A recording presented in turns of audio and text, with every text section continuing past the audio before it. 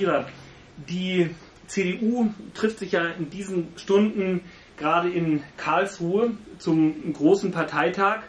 Wenn man sich die Wahlergebnisse anschaut, ähm, so hat man den Eindruck von einer Union mit konservativem Anspruch, die den Anspruch hat, noch bürgerliche Wähler äh, zu binden, ist eigentlich nicht mehr viel übrig geblieben. Also die Wahlergebnisse zeigen deutlich, dass die CDU ihren Weg nach links fortsetzt. Sie ist keine Partei der Konservativen mehr. Alle, die in der Vergangenheit für ein konservatives Profil bei der CDU standen, sind ausrangiert.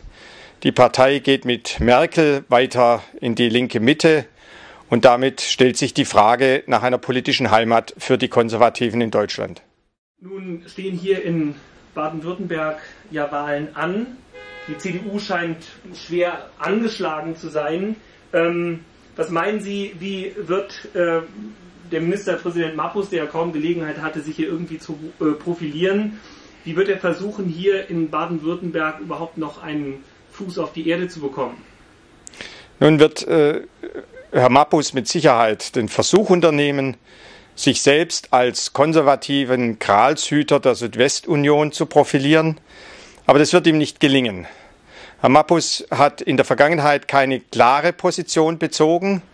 Er hat auf der einen Seite versucht, seine Stammwählerschaft in gewisser Weise anzusprechen, ist aber auf der anderen Seite auch dem modernistischen Zug der Zeit gefolgt. Und dies wird dazu führen, dass die CDU gerade in Baden-Württemberg eine herbe Wahlschlappe erleiden wird. Es kommen da andere Themen noch dazu.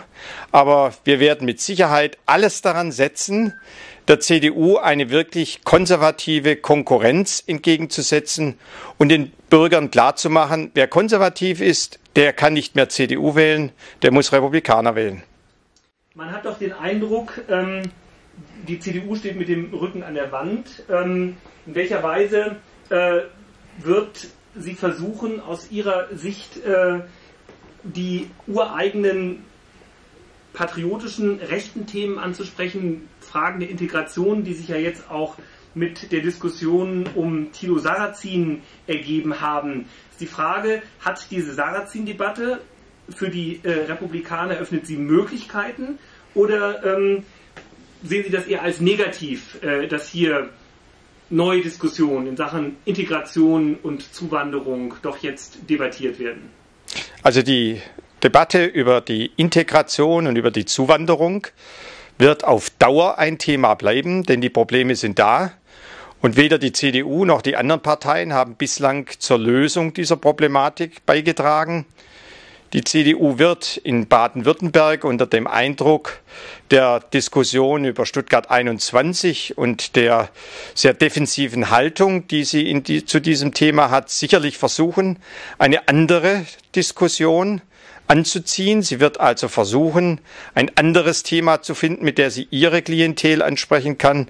Und ich könnte mir gut vorstellen, dass dies das Thema Zuwanderung sein wird, weil sich die Union erhofft, von Sarrazin und der damit ausgelösten Debatte Pluspunkte zu sammeln. Aber hier sehe ich mit sehr großer Gelassenheit der Entwicklung entgegen, denn die Vergangenheit hat gezeigt, hier nehmen die Bürger die Union auch nicht mehr ernst, sondern wollen eine ganz klare Sprache und eine klare Lösung. Und die werden wir Republikaner anbieten.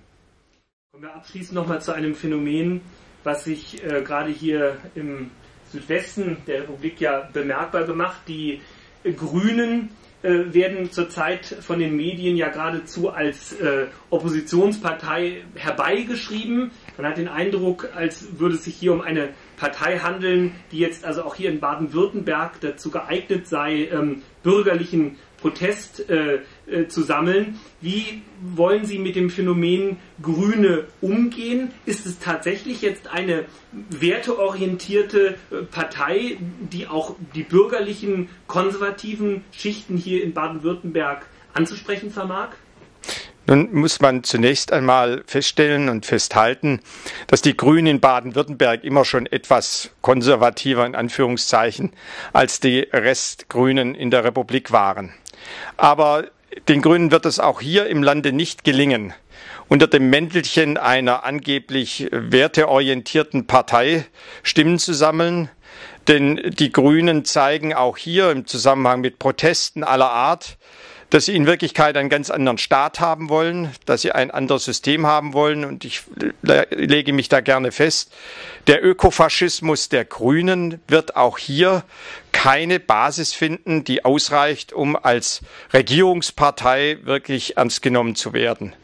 Aber die CDU wird ihre Probleme haben, denn jahrelang hat der Vorgänger von Herrn Mappus mit den Grünen ein bisschen geflirtet. Schwarz-Grün war ja gerade in Baden-Württemberg eine Diskussion. Jetzt rudert die Union zurück. Und wir haben den Vorteil, in aller Deutlichkeit zu sagen, wir wollen keine Partei, die weitere Zuwanderung fördert, die Deutschland völlig verändern will, sondern wir wollen unser Land so behalten, wie wir es gerne haben. Und deswegen sind wir Republikaner die eigentliche Heimatpartei in Baden-Württemberg. Herzlichen Dank für das Gespräch. Vielen Dank. Thank you.